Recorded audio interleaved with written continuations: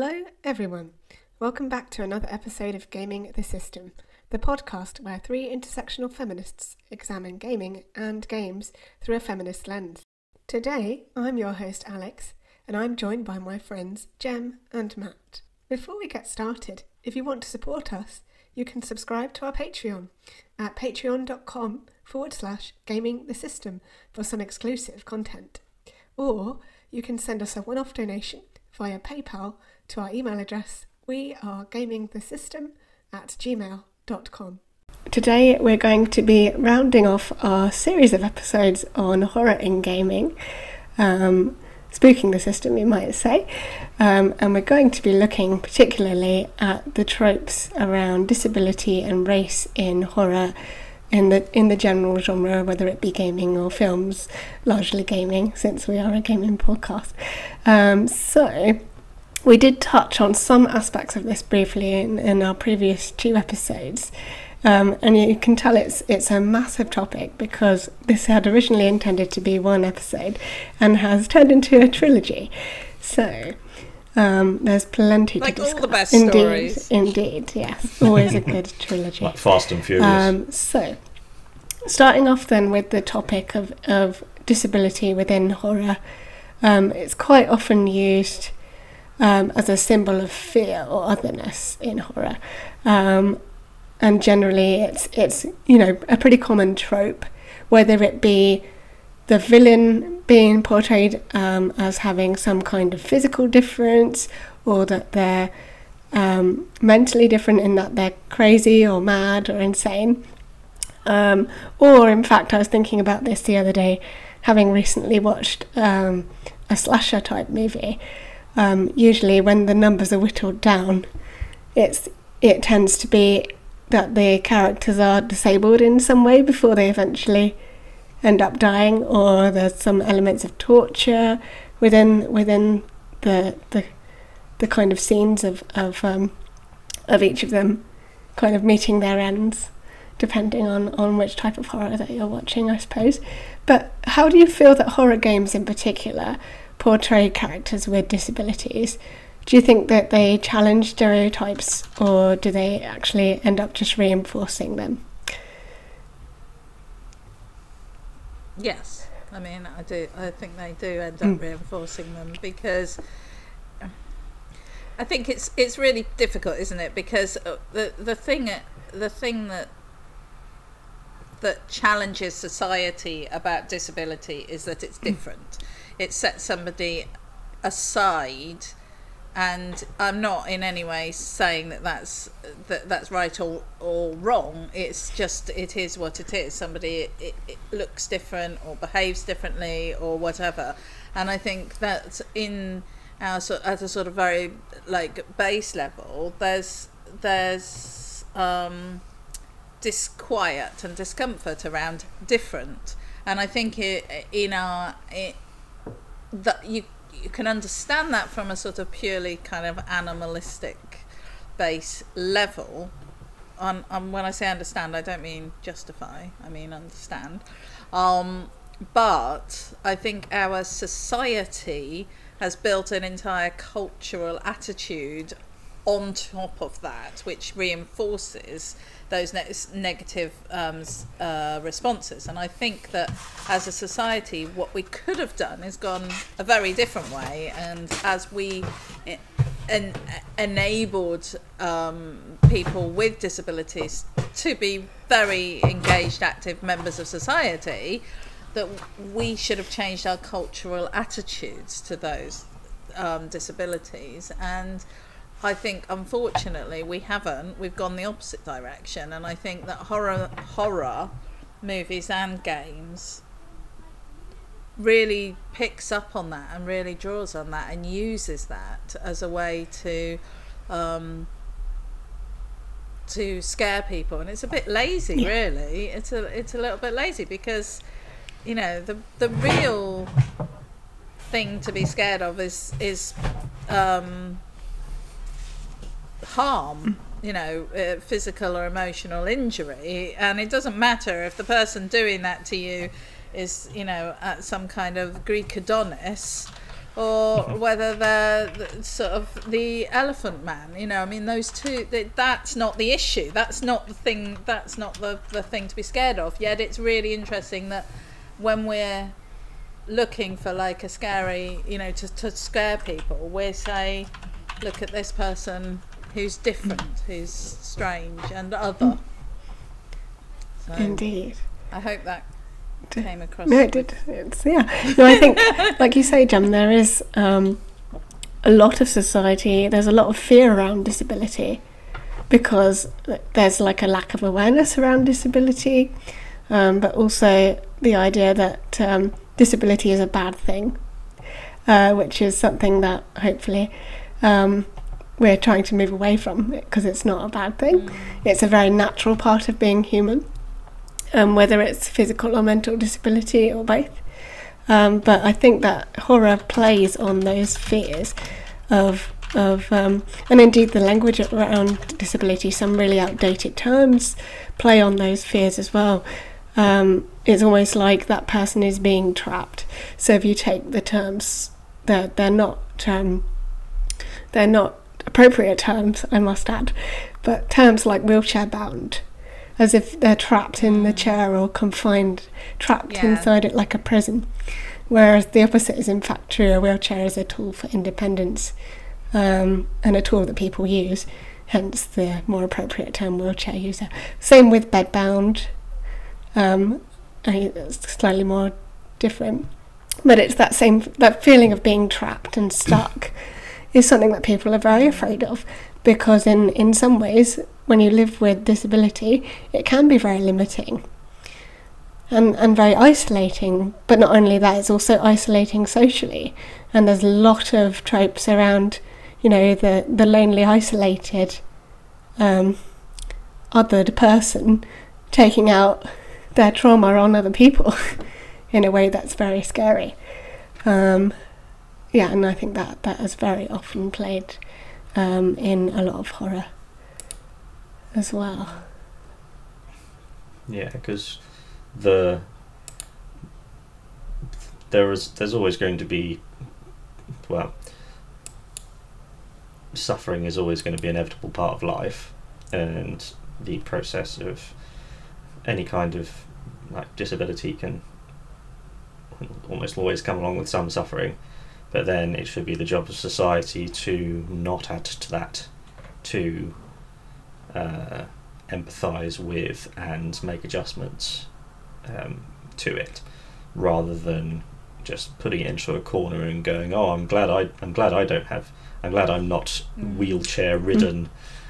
As Being described as ridden Yeah. something always seems particularly egregious, um, and the reason I was looking around though, because I'm looking for a fucking pen, a pen or a pencil, because I've got, what you can't see is I've got fucking shit everywhere in in here. That's okay. Um, uh, there was a one of the things I think about quite often is in. Have either of you ever seen any of the uh, images from the First World War of soldiers with horrible facial Mhm. injuries? Yeah, Yeah, so they're they're shocking images to see, and you just go, "That's not what this is. This is the face of war. This is the only images that should be shown of war because this is this is the face of it. It's not Call of Duty. It's Hmm. this." And back then there was being looking like that. There was, is it- is- I think there was a there's a book called I it's called like the face the face sculptor or something because there was this plastic surgeon who uh, felt so bad for these people being shunned who were wounded in battle and being treated like monsters. And he took uh, found old photos of them and created these stunning lifelike prosthetics for them and the that's that's part of the process of making someone because what disability can do is it robs you of your sense of self. And so this is from my experience. It can very easily rip away your sense of self, and it makes it very very hard for you to to remember that oh yeah you're you're there, and then your disability and all the stuff is on top of Mhm. you, rather than it's your disability and then that's then your Yeah. that's you. And what this uh, this doctor did was that first step of one, it makes you feel like yourself again, making them feel like themselves, and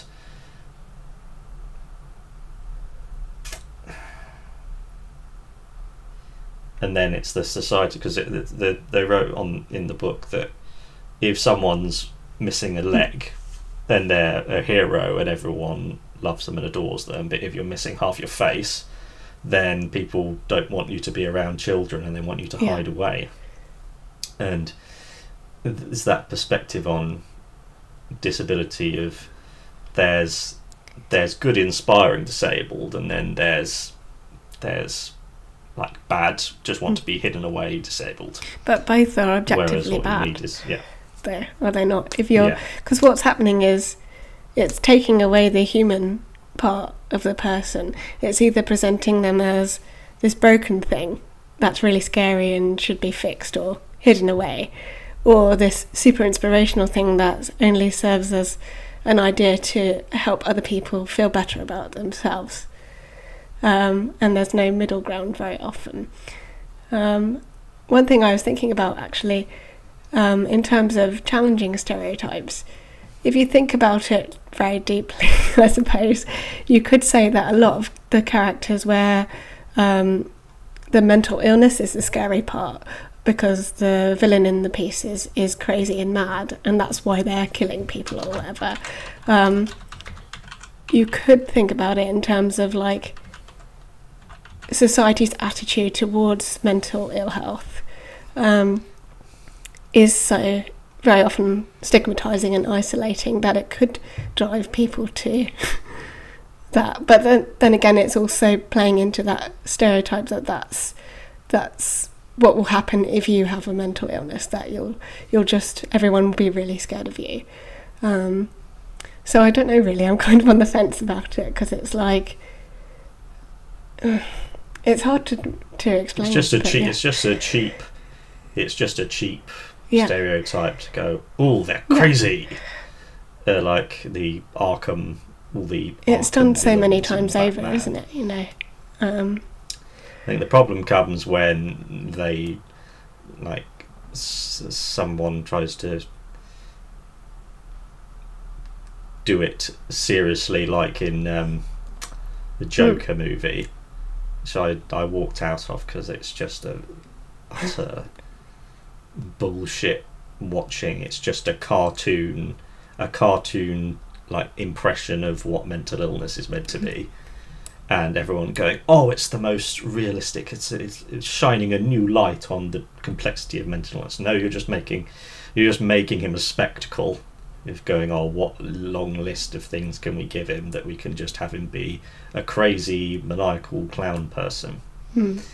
Um, whereas in say Senua's Yeah. Sacrifice, that's an element of mental illness that is portrayed really I well. was about to bring that up actually. It's Yeah. because that is one of the few games I think we did discuss it previously as well that does show psychosis in perhaps a more um, or let's say a less stereotypical way um, than it might have been in a different type of game for example um, but yeah I think it's it's that those kinds of games are quite few and far in between I think generally um, and often It's because it's hard. it falls back on It's- the lazy stereotype, doesn't it?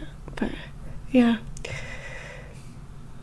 Yeah, it's that the the the yeah there are there are like you say there's the the inspiring disability and then there's the the everything else going oh it doesn't quite fit in to the narrative. so we'll no. ignore that. Yeah, and because some some things are just they're just difficult and they're not very Mm. inspiring but those are the ones that 99% of the people who experience them go through and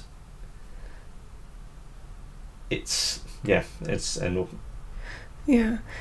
It yeah, reminds me comes down to actually when we again. started off these episodes telling our own spooky stories at the beginning, and the scariness that comes from something not quite fitting into what you expect. Um, and I think that's definitely a theme that carries through, particularly in reference to, to disability within horror. Um, when we think about society as a whole and what society values, that's obviously changed over the course of history. And now we're very much, as Matt will attest, many has done many times, we're very about capitalism. so there's a lot of value placed on your ability to work and contribute to society. And if you can't do that for whatever reason, or that is is not possible for you, um, depend on with different other factors. You know, it could be so, a condition that you have, or it could be soci- society's barriers placed upon you. But for whatever reason, you don't fit into that nice, neat box that society wants you to fit into, and therefore you are othered. And and you know, then there's this lack of awareness around it, and then this culture of fear grows because there's, you know, we don't talk about it enough, and that's when stereotypes occur and people start saying things that are clearly based on stereotypes and not facts and start making assumptions. Um, but that's a, a wider symptomatic problem of ableism in society. But you can see where those strands lead to um, particular horror storylines um, because it's it's something that doesn't fit into what is normal for society, and sometimes that can be quite scary. Yeah. I think that the um, well, I mean, we always come down to it, don't we? The games industry needs to take more responsibility for how it Mm. represents most things, um, and you know, I mean, as you said, uh, Senua uh, Hellblade was is is really is a really good example of the industry doing it right. But they brought in experts to advise on how to do that and and and what they and you know so they took advice just like we've talked about the importance of people Mm. taking um, advice um, uh, ra- around consent and all of that so I think that there is definitely this aspect that it can be done right and it can be done in an enjoyable gaming you know it doesn't have to you don't have to sacrifice the fun of the game to get it right um, but what you do need to do is to consult some experts um, Definitely, Jan. which i think happens too Yeah. rarely Indeed. And you just made me go, well, uh, I was, my initial, like, when Alex, you were saying about how uh, the the quote unquote able bodied are going, oh, I don't want to think about Mm. that, and all the just just stick with the stereotypes and just going, oh, yeah, they're a burden, they're an add on who we just we tolerate as we move forward, and go right. That that makes lives the lives of disabled people worse because they're not Mhm. being seen as they are.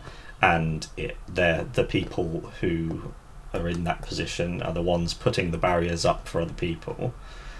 But they're also putting barriers up for themselves.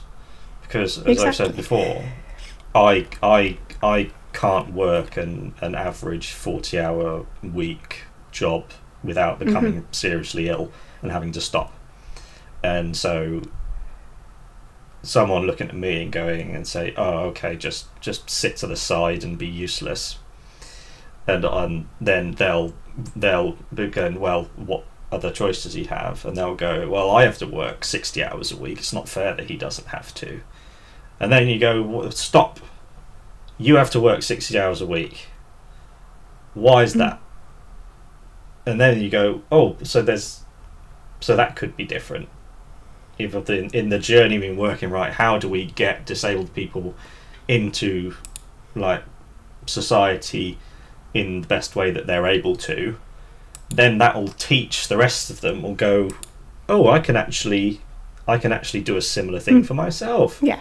Maybe i don't have to do 60 hours a week and if my boss goes no fuck you you have to do 60 hours a week because of capitalism then you can go oh actually I actually Mhm. going to work with all the people I've been working with now, and we'll go. Fuck you! I Yeah. want to work less. Exactly.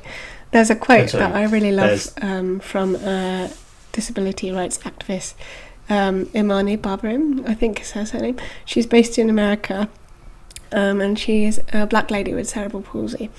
And uh, I think her handle is Crutches and Spice. If you're interested, I, would recommend you go for a follow.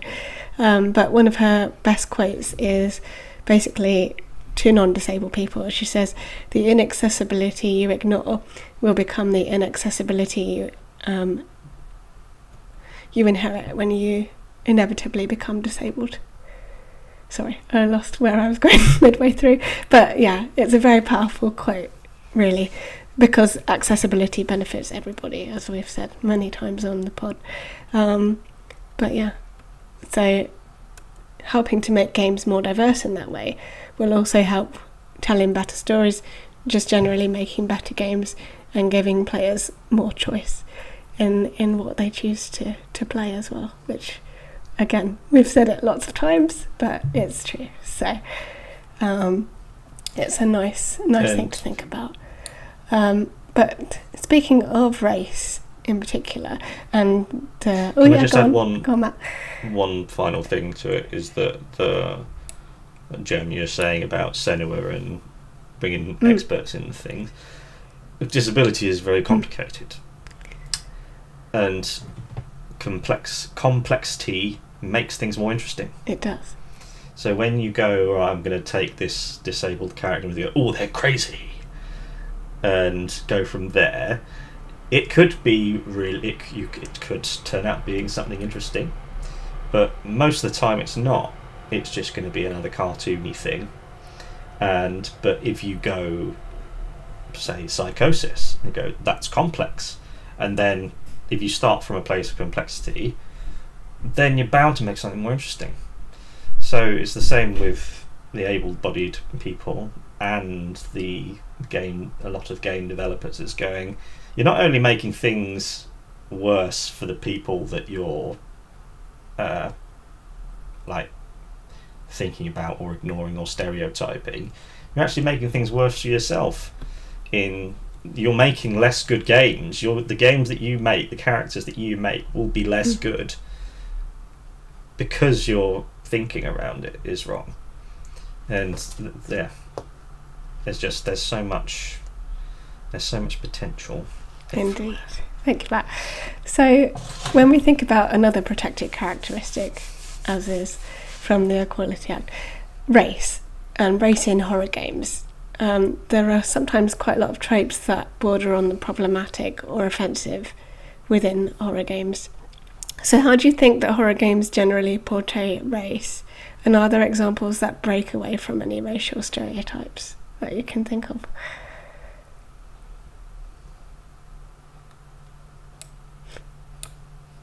So, I think this is really yeah, it's a tricky one. actually. There's I- things yeah, like because The I Walking Dead, I remember, has a black protagonist. Yes, it does, and and that was the one that actually like popped into Yeah. my head. And I remember when I was playing it, it was because it was, it's rare, it's a rare thing, um, and and the Walking Dead games are interesting because despite I think if you haven't played, if you haven't come across the Walking Dead games, you might assume that they're like first Mm. person zombie shooter, but they're not. They're ex- um, extremely involved and very emotional, choice based uh, story games, really, where you your main thing is to you know it's it's a choose your own adventure game i suppose is the best way to describe it. And the character in that is black. I don't think that the fact that he is black is is relevant in the in the game i think he just happens to be a Mhm. black man and that doesn't have a lot of relevance but i'm feeling like there was some racism directed at him at some point in in the in the early chapters It wouldn't So, surprise me maybe that I'm- would come up. yeah because i think that's also an issue isn't it when games companies have um a, a black character or a, a female character or a disabled character, and that characteristic doesn't have any impact Hmm. on on the character. And I think there's a there's a there's It's not- almost it's almost yeah, problematic because it's not isn't it, as realistic. Is it? it a- there's going to be Yeah. an impact because that's how life. That's how life works. Yeah, Yeah. And as when I grew up, everyone talked about being colorblind. That was such a, a trendy thing, and I and I, I it, it, it's very much out of favour Yes. now, correctly. And it took me a long time as somebody who'd grown up in that in that environment where the idea was that you know we should just treat everybody the same no matter what. I think what I've you know it's been hard, a journey for me to understand what it why it matters um, and to understand that you know it, it, it, equity is the important thing and equity only comes from recognizing the disadvantages or the discrimination or the challenges that somebody faces in our you know ableist pa- patriarchal you know white supremacist society that we live in how anyone who doesn't fit those stated norms ha- it is impacted. And i'm really struggle to think of games that actually explore any of those issues in any detail really. Um, let alone you know um, well or rather that they don't even have characters with those No, characteristics it's hard to think of some, isn't it? Generally. But, yeah. yeah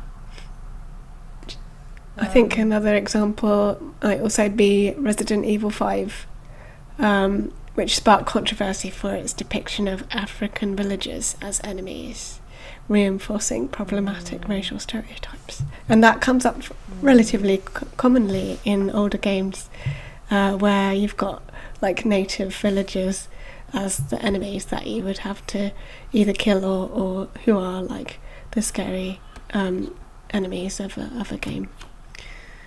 Yeah. yeah or more Yes, primitive yeah. or less less civilized less morally you know all of those things are assigned to it's such a colonial Indeed. attitude really That isn't it that brings just up runs really nicely. i I, was, I think I mentioned it to you at the end of last week. A book that I've been reading um, about the history of the disabled mind from 1700 to the present day, and I have just read the chapter on race and disability and colonialism and that whole period.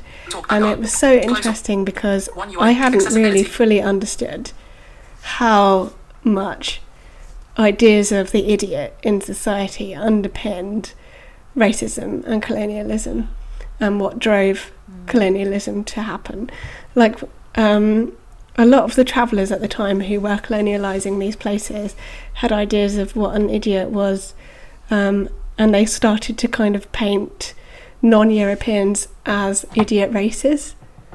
So, whole races of idiots because they didn't conform to more civilized European ways of doing things. They didn't understand property and how to own and run a property. And so, their justification for colonizing places was, oh, well, we'll come in and we'll. We'll, we'll run the land for you. You'll, we'll sort out your property for you because if you're living living nomadically, that's clearly uncivilized and idiotic, and not the right way to go about living your life. So we'll do it for you. And it underpins all of it. and it just absolutely, well, I mean, it, I definitely feel a lot more educated now having read that. Um, because it, it's just, you can't separate the two ideas. Um, and I hadn't realised how much they blended together to that extent. Um, And I think I think one thing that's really interesting is that how much have things actually mm. changed today? Because we live in a society, especially in the UK, and I'm I'm not. I think we've exported a lot of this, but I think it is particularly problematic for the UK because we live in a a, a very fundamental. Well, we lived in a very strongly mm-hmm. classist society, and I my my personal theory is that we have really embedded that in our in our psyche in our group psyche and we find it very difficult to push back against it and we did um, a couple of episodes Mm. didn't we about um, sort of royalty and and um, uh, the That's landed right. gentry and all of those things and how they're portrayed in games and how um, how a- attitudes to them in society impact how we relate to them in the games and how often the hero is is some lord or you know master in some way. And that that, that there's this sort of attitudes that some people are just better than other people. And fundamentally in it, it this is my um, educated opinion.